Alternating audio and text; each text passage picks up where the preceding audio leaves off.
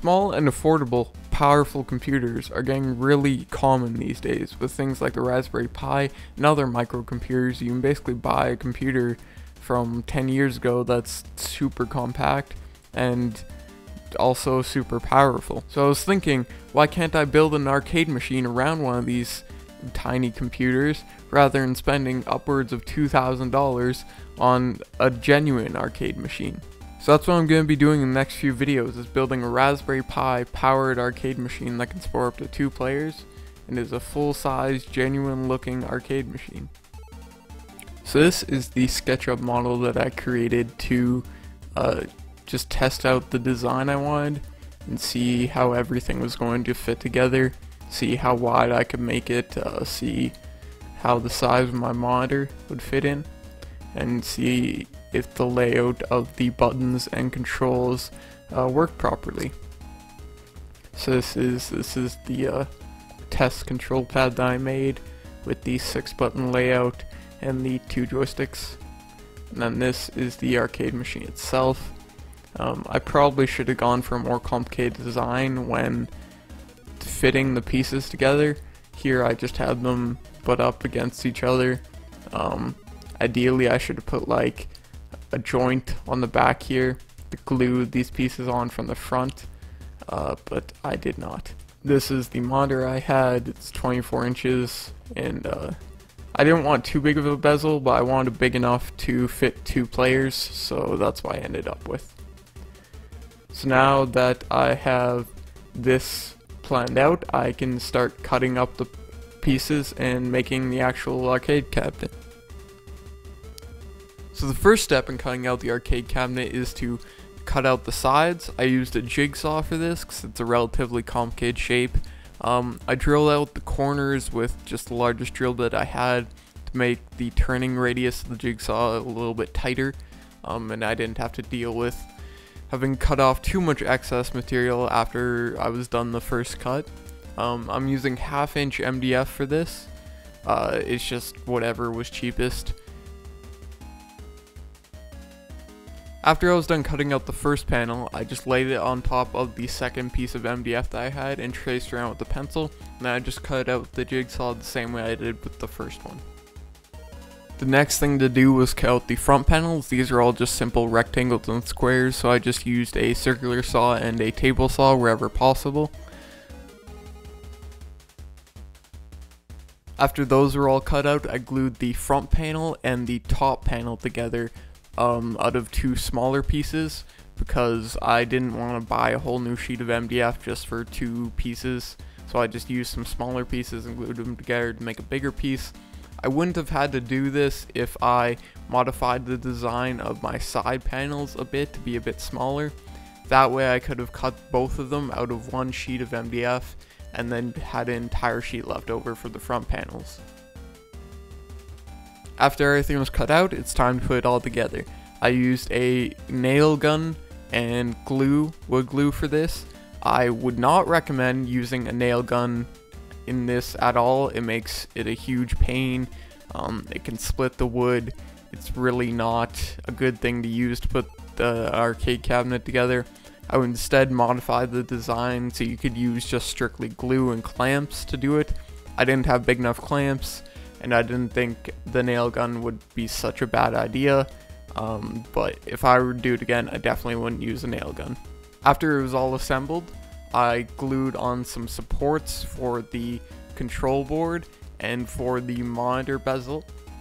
I wanted the control board removable, so that's why I'm just gluing on a piece of wood on the side so it can just sit in. I don't have to screw it in or anything like that.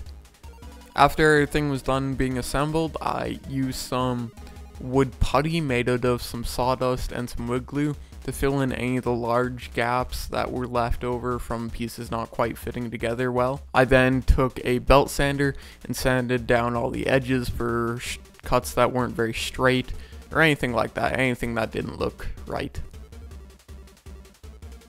Now it's time to paint. I just used a black latex paint that you'd use on like walls in your house or something. Just whatever I had laying around. Um, I did like three or four coats. MDF tends to suck up paint quite a bit, so you're to need quite a few coats before you can really get a nice even look to the paint. I plan on applying decals to the sides afterwards to give it a little bit better look, um, but for now I'm just going to leave it as a black box. Then I worked on the monitor bezel. This again I do cut out of smaller pieces and then glue them all together. It consists of four smaller pieces glued in a square. After they are all glued together I just paint them up like the rest. After the main cabinet is finished for the moment, it's time to cut out the control board. Um, this just a simple rectangle. Once it's cut out, I tried to use a drill press to drill out the holes for the buttons and the joystick. I tried to use a small bit and drill multiple holes in a circle to see if I could drill a bigger hole. Uh, this didn't really work at all, so instead I got a hole saw bit this isn't ideal either. You probably want to use something like a Forstner bit or something that's better designed for wood. Um, but I used a hole saw to cut out the holes for the switches and the joystick.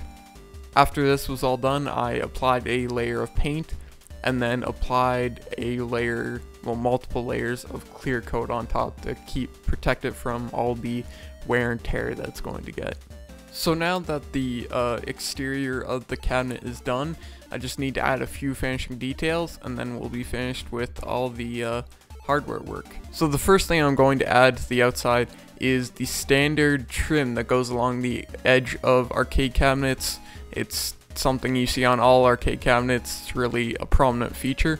Um, to do this, you can buy some trim off of eBay Normally they come in uh, 3 quarter inch widths, so that's why you should probably use 3 quarter inch MDF.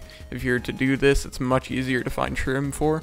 Also, it just is easier to build with. But I was able to find some 9 16ths uh, trim that's used on, I think, Donkey Kong or something.